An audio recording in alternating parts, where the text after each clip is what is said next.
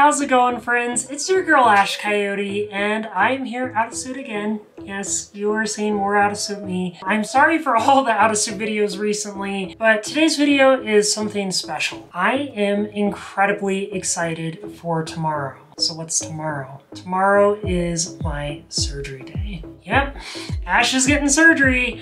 I'm getting surgery. It's so exciting. It actually is really exciting. This is a surgery related to my transition. This is nothing serious. Uh, I'll, I'll go ahead and spoil the fun right now. You ready? Ash is getting boobs.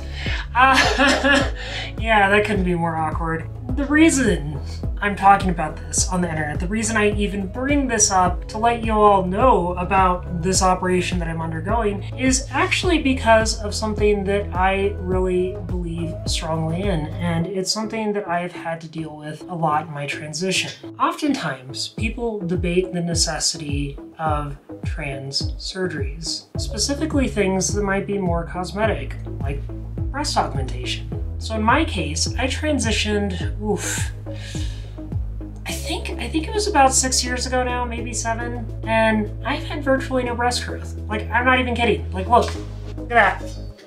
Ash don't have boobs. I don't have boobs. I'm going to have boobs. Probably by the time you see this video, I'll have boobs. But I never really had much in terms of breast growth from the hormones. And that can affect your confidence. That can affect your perception on the societal level, how people view you, whether or not they see you as a man or a woman in their eyes. And as a trans woman, it, it has definitely made aspects of my transition hard. Now, this goes so much deeper than just wanting boobs or not wanting boobs or really understanding one's physical appearance as it applies to dysphoria, I'm going to tell you all a little story. When I first transitioned, all those years ago, all those uh, six or seven years ago, the very first trans people that I met fell into a group known as trans medicalists. These are people that believe that surgery is necessary in order to be trans. And that's really hard because I think for a lot of folks, there is a pressure pressure to get surgeries, a pressure to conform, and a pressure to be a part of this group of hyper passing, you know, trans women. In all actuality, for most of us, most of the trans population, that's not a possibility. And I think it's important to be real about I think it's important to talk about this on the level because for the vast majority of the trans population, we don't have that privilege. We don't have that opportunity. Most of us certainly do not have that money. I mean, if you want to talk about surgeries, for example, most of the operations for trans individuals aren't really covered by insurance or are just starting to be covered by insurance. I had to take out a credit card in order to get FFS, for example, which is facial feminization surgery, and I had to go with the cheapest doctor I could find.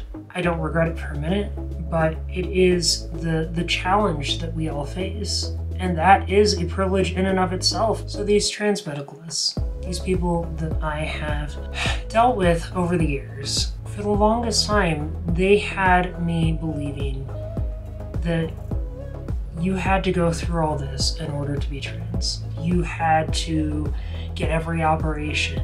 You had to do all these things to conform. I want to tell you all something right now. You don't have to. Be your best self and love yourself. If you feel like you need surgery to be yourself, that's okay. If you feel like you don't need it, that's also okay. It should never be about a surgery or an operation. Should be about being authentic to who you are. For me, I believe that that means that I need to address my own my own operation and share a little bit about my journey to this point. So as a part of this operation, so a part of what I'm undergoing, I've decided I'm going to document it. I'm going to record some vlogs. No, I'm not going to be showing my boobs. I am going to be showing me going through the recovery process. I think that it is a educational experience. I think that there's a lot that can be learned and a lot that can be experienced going through all this. And I think that it's a great opportunity to share and reflect in the moment and to show individuals who might be thinking about this surgery, who might be thinking about other surgeries, what the recovery process really is like and what the realities of the operation are. You know, expectations. I, I think we all have high expectations going into this stuff, but I, I also think that it's important to be realistic. At the end of the day, my goal is this I just want to be me. I want to be authentic. And I want to be able to share it with you. I hope you all have a wonderful day. I'll talk to you later. Bye.